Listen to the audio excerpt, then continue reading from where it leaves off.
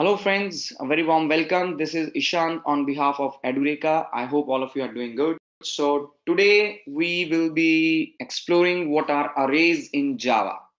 So, let's see what we got for the day. So, we'll have arrays in Java. What are the different types of arrays? How we'll work with them? We'll try to solve a basic problem by having a matrix. Then, what are sorting techniques and searching techniques in arrays. So this is supposed to be the agenda. So guys, let's begin with the arrays. Now in the software design, so you are storing the data. So when you are storing the data, there might be a use case you need to store a lot of data all together in a single container, right? For example, you need to store population of a country as in some states so there are, let's say, n number of states for which we have a population count. So you see there will be approximately data which will be in lot of values. So we'll have more than one value associated to the container called population for the country. So we can have an array for every element in an array. We can mention the population count for one of the states, right? So to begin with, guys, array is a data structure to hold, you know, more than one values. So it's gonna be a multi-value container for us. So it can contain homogeneous elements. So you can say it's a limitation or it's a plus point, right? So it maintains the type safety check. So we cannot store different type of data in the same array. So it has to be the same type. So if you are going to create an array for integers, it must be only integers. Now all the elements, they are stored under one single variable name. So we have a reference variable which will be pointing to the array. Now the data stored in an array is a contiguous memory location. It means that they are the neighbors now. So there are various different types by which we can represent the data in arrays. So we can represent the data as single dimensional or 1D array, which is storing the elements as in a row. So just consider it as a row. In a continuous row, we are storing the elements. So that is how we started, right? So in a use case to store the country's population, so this element can store state one population count, next element can store the other state population count, so on and so forth. Now two dimensional array is array of arrays, right? So it's a collection of collection now. So here what we are understanding two dimensional array that it's gonna hold the population for the world. Let's say the first array will store the population for Indian states. The second array can hold the population for some other countries, different states. So if you have more than these kind of problems, so where you have data coming up in the form of some, let's say you want to process images, right? You want to rotate an image you want to process an image on some colors. So here we just don't have a two dimension array. We just don't have array of arrays. So we got multi-dimensional arrays. So in that regard we got this multi-dimensional arrays where a lot of data can be stored. So typically when you are going to come up with the image processing problem so you'll be working in the multi-dimensional array. So one of the use cases now let's see how we can work with arrays. So guys, how we can create a 1D array. So creating a 1D array is very basic. So you give a reference variable name and you mention the data type with the new operator with the size and you'll be able to get your array created in the RAM area. So reference variable with the new integer 5 will give you an array of 5 integers, right? So you need to be having this syntax where we can create an array. Now, when you will create an array, it will be indexed on the basis of size. Let's say the size is 5. So there will be four indexes. So 0 to n minus 1. So it's going to be 0 to 4 for a size of 5. Now, every element in an array is accessible through this index. For example, when you say my array 0 is signed 10, you're writing the data in the 0th index. So thereafter, you say 1 is 20 2 is 30 3 is 40 4 is 50 so you are actually writing the data into the array. So a basic write operation and same way when you have the array constructed so at the time of construction you can mention the data right?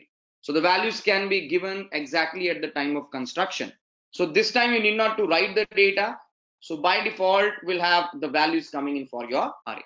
So guys, when we want to access any element in an array, so you write down the reference variable name and you mention the index in a square bracket and you will be able to access it. For example, you say my array 1, it's gonna access the value 20.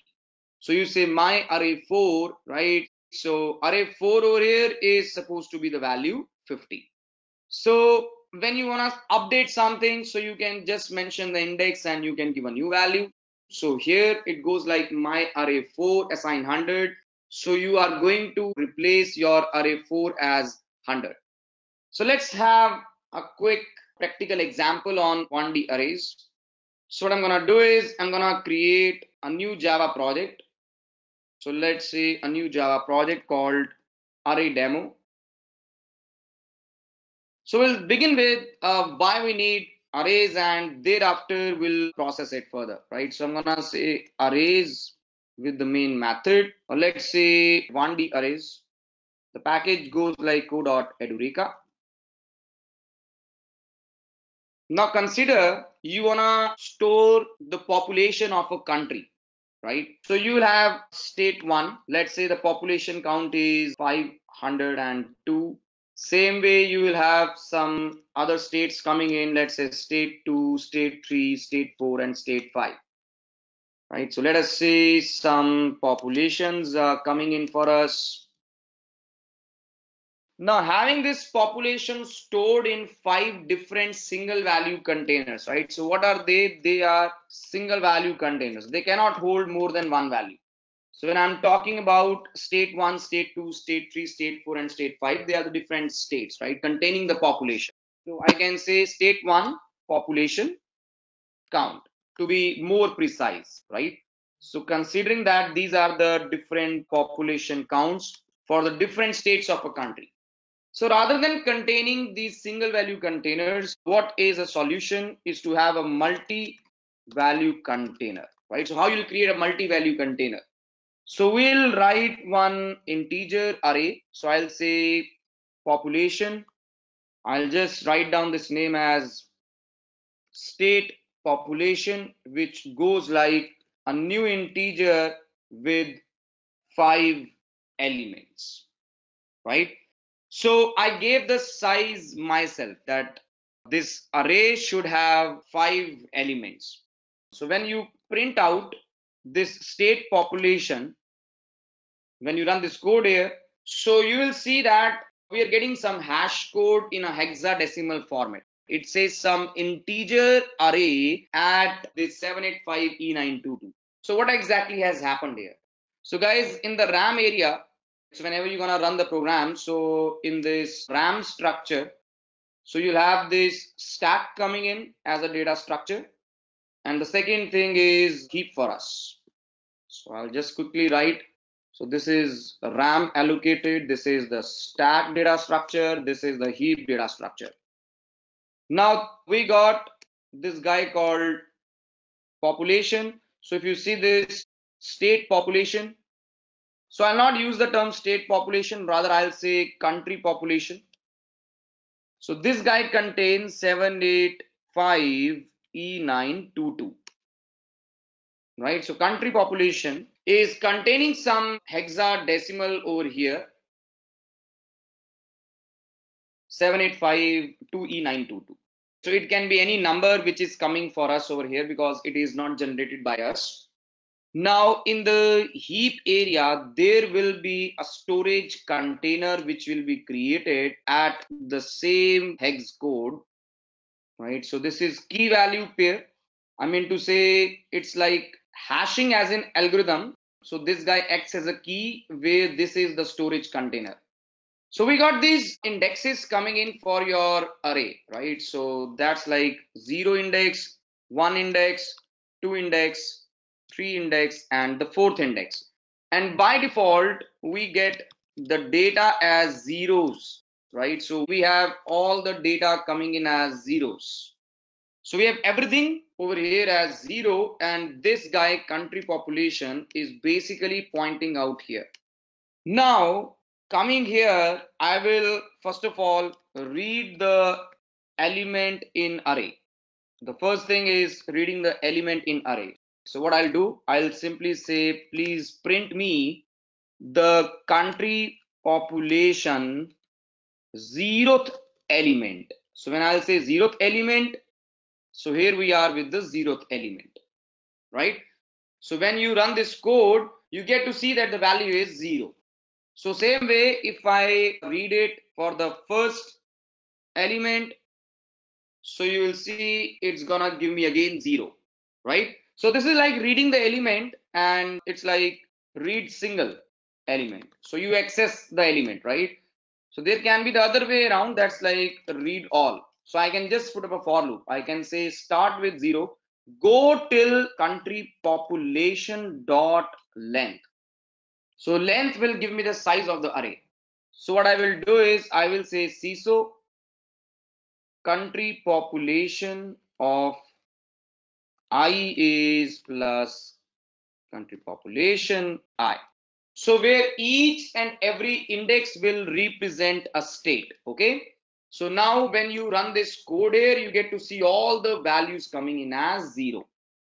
So when you create any array, so all the elements will be by default zero. So what I can do is, so before I access my array, I can do a write operation in array, right? So write operation, so write slash update operation. So both of them are same for us. So I can come here and say that the country population of zero index is 502.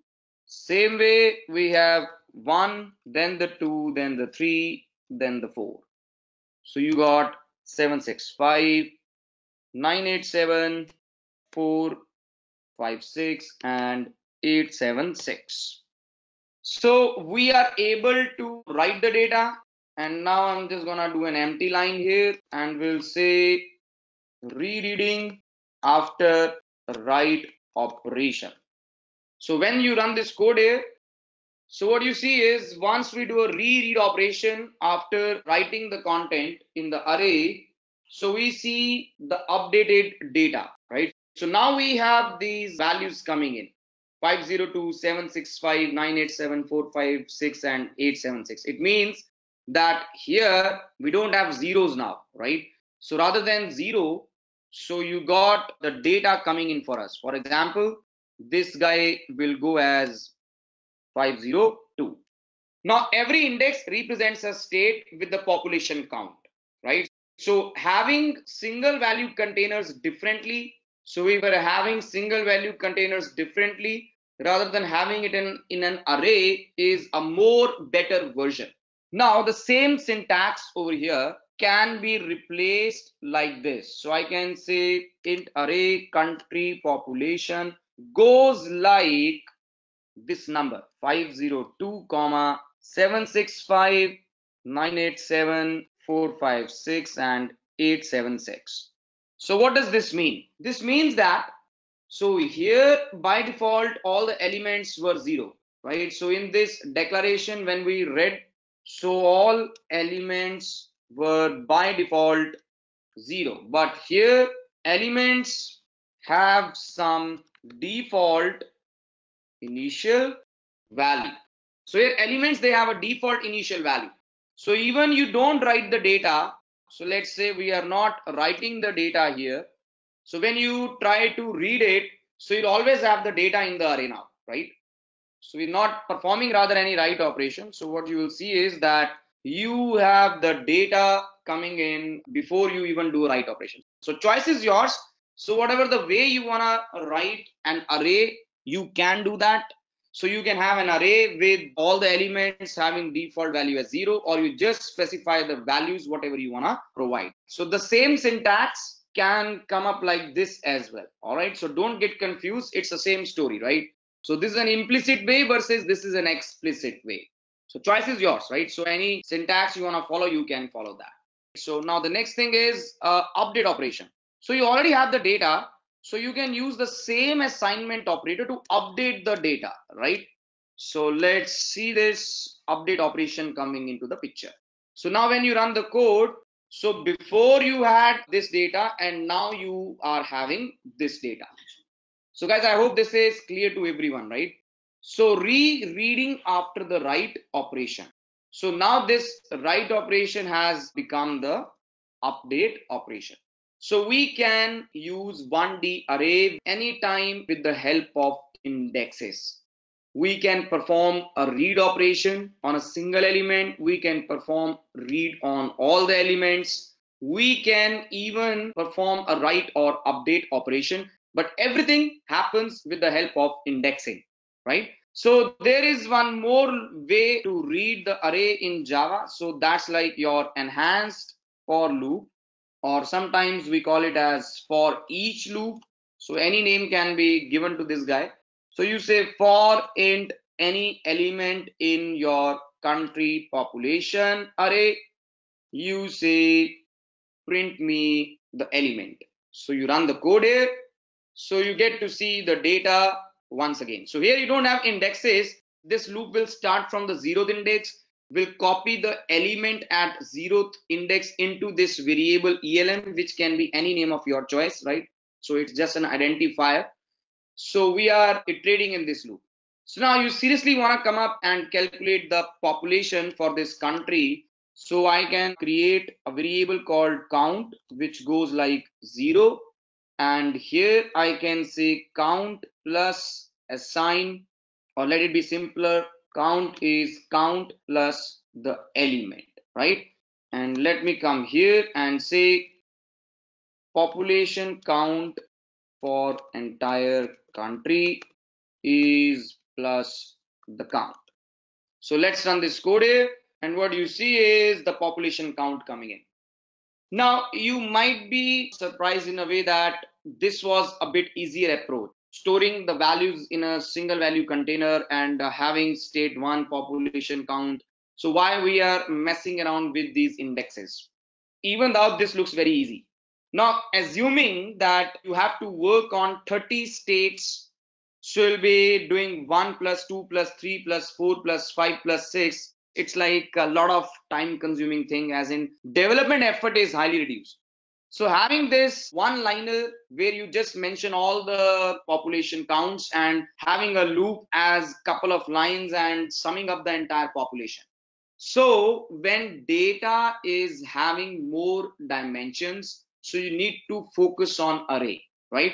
So solving the problems where you have a lot of data, so you structure it in a better way and arrays, they are one of the most easiest data structures to use in your software solutions. So with this, let's now move to the next part. So the next part is working with two dimensional arrays, right? So guys, we call them array of arrays, right? So here we mention the row and column. So row column here does not literally means a matrix concept. So row column over here means that how many number of 1D arrays you want. So the first element means how many 1D arrays and the second means how many elements in 1D array, right? So it's basically array of arrays. We can represent a matrix using uh, two dimensional arrays. So this is like zeroth arrays zeroth element, zeroth arrays first element. Same way, first arrays zeroth element, first arrays first element. So if you want to access, you can say 0, 0 is 100. So zeroth arrays, zeroth element, right? So you put the data. So same way you can put the data for the other elements.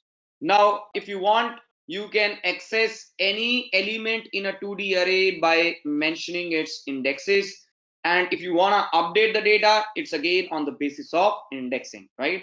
So guys, let us try to have one example on 2D arrays. So I'm gonna write one new class. Let's say 2D arrays with the main method. So to begin with, I'll just say int two brackets. I'm gonna say world population. So considering this world population, so I'm going to have the first array for the first country, right? So let's say, all right. Now this is first array and let it be the second one. So this goes like some second array and this goes like some third array, right? So this is zeroth index, this is first index and this is second index. Now, when we are understanding this problem statement, so we mean to say that 0 represents country 1 and 1 represents some country 2. So just, just taking an example. So this represents some country 3. Same way here, this is country 1's 0, country 1's 1, then 2, then 3, then 4 and 5 and 6. So this is zeroth state, first state. So these are the states now which we are talking about, guys, right? States for country one. So these are the states for country one, right? As in uh, indexing. So the next is the state for the country two, states for the country three. So these are all counts, right? So they are the population counts, all right? So let's say that you got country one as India, and let's say the zeroth state is Punjab, so we got the population count for Punjab. So that is how we are representing it. So there can be some other country two, there can be some other country three. So we have represented the data into this entire array. Now, when I will just try to say world population is plus world population and uh, size is plus world population dot length or let's say and length is. Now when i will run this code as java application so what you will see is that it's an array of arrays at a hash code right? And the length is 3 so i got this guy called world population. So i'm just gonna take this another example here. So we got this guy as world population 785E2922, some hash code. So this world population is something like this. So it's basically having three indexes and you got indexes coming as 2, 1 and 0. Right? So this hash code goes like this and we got a reference coming in here now, the next thing is we got the 0, 1, and 2. We got this world population coming in. Now, what I'm to do is I'm to access the zeroth index, right? So I'll say world population 0, then 1, and then 2, right? So we will come up here and say 0, 1, and 2. So guys, this is array of arrays, right? So zeroth index is an array, first index is an array, and second index is also an array. So I'm going to say print me the zeros length, print me first length, and print me the second length. So zero length is like what? Seven, right? Because there are seven elements. Then the next guy and the next guy, they have their own sizes. So when you run this program here, so you get to see the sizes as seven, five, and six. At the same time, what you see is we got different different references coming in. Some 4E2705C6 so we have some you know hash codes. So i'm just gonna represent these hash codes here. Let's say some 4001 let's say some 3001 let's say some 2001 so i'm just considering these numbers as hash codes. So further we got these arrays. So this is like 4001 array 3001 and 2000 so guys i'm just considering these mathematical numbers as hash codes right? So this is like further pointing out here. This guy pointing out here and this guy pointing out here. So what is this concept? This concept is array of arrays. So world's population zeroth index is an array right? So we get to see this data over here so this data is available over here, right? So as in indexes. So zero index, right? So this guy is indexed for us. So zero index, one index, two index, then three, then four, then five, and then six. So on and so forth, guys, the others as well. So if you say world population, zeroth arrays first element, it's gonna be 4, 5, 6, 7. So that is how if I come here and if I say please print me world population let's say zeroth arrays zeroth element right? So world population zero zero. You run this code here and what you get to see is one two three four so guys i hope you understood this point right? So when i say one and two so first array is zeroth index first index and the second index. That's like eight seven six five. So here you are right? So this is like one and two. So anytime you wanna read the array so this is like read single element right? So you wanna write the data. So write or update they work in the same way right so for example now i will be doing an update operation. So i'll say world population of 1 and uh, 2 is some number all sevens. So you say CISO rereading. And now when I will do a reread operation here so let's run this code. So here you are with the number all sevens. So same way you can even perform a read all operation so I can write a loop. So the outer loop shall work for the world population dot length. So this loop's gonna iterate three times because the length is three. So from 0 to 2 because we got three 1d arrays. Then I got an inner loop which will go from let's say j as in 0 we'll say j less than world population of i dot length and j plus plus right?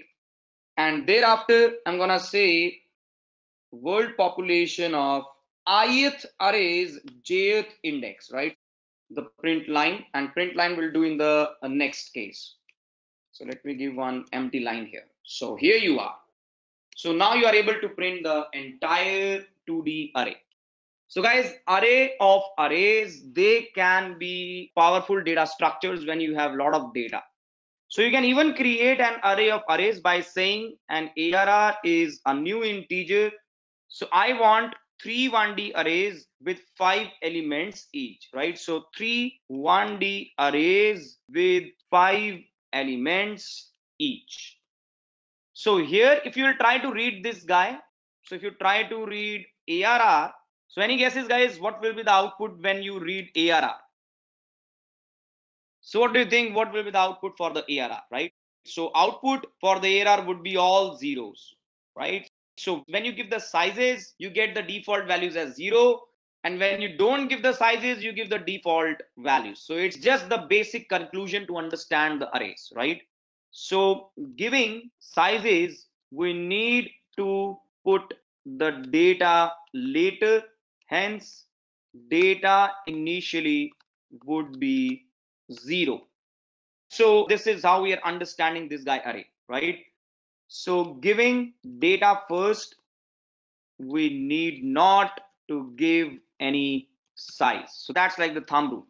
And guys, explore enhanced for loop on 2D arrays, right? So explore that how you can convert this nested for loop with the help of enhanced for loop, right? So that you guys explore.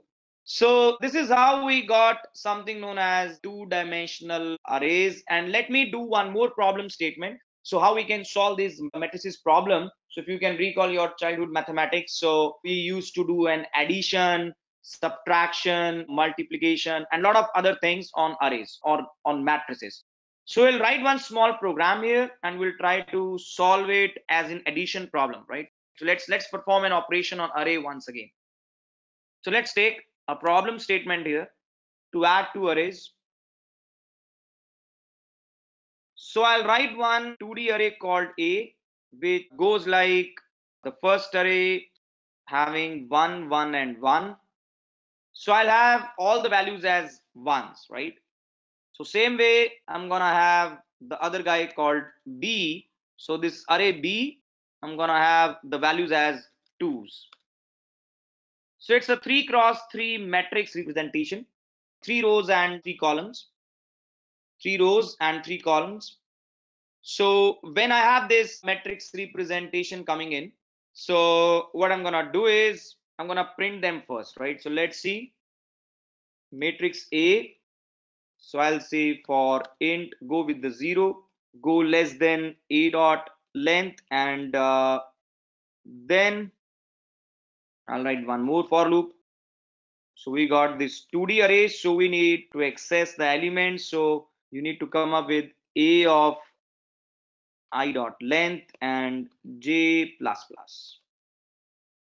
So here I'm going to print this guy called a of i and j. So this is the representation for matrix A. Let's represent the matrix B. So I'll say B dot length, B of I and B of ij. So let's run the code here. So this is how the two different matrices are coming guys, right? Now what I'll do is I'll come here and I'll create one another matrix that's like C, which is a new integer of three and three, right? So we'll take three rows, three columns. And uh, what I'll do is I'll take one loop here, run it till C's length, and I'll say C of ij is A of ij. So guys, we are adding the elements here, right? And B of ij. So what we are doing is we are adding this one with this two, then this one with this two, so on and so forth, right? And once I'm done with it, so I'll represent this guy called matrix C here after the addition. So all elements, they should come up as C. So you run the code here. So you get to see that the matrix 3 is coming as all the threes. So here we are. So one basic mathematical operation on matrices guys, right? So arrays, they can solve a lot of problems for us, right? And this is what we got as in the part one. So in our next part, we shall be discussing on what is sorting and searching in arrays. So that would be all from my side, guys. Thank you so very much. Once again, this is Ishan on behalf of Edureka. And do like our Facebook page and do subscribe to our YouTube channels in case you have enjoyed the videos. Thank you, guys. I hope you have enjoyed listening to this video. Please be kind enough to like it and you can comment any of your doubts and queries and we will reply them at the earliest. Do look out for more videos in our playlist and subscribe to Edureka channel to learn more. Happy learning!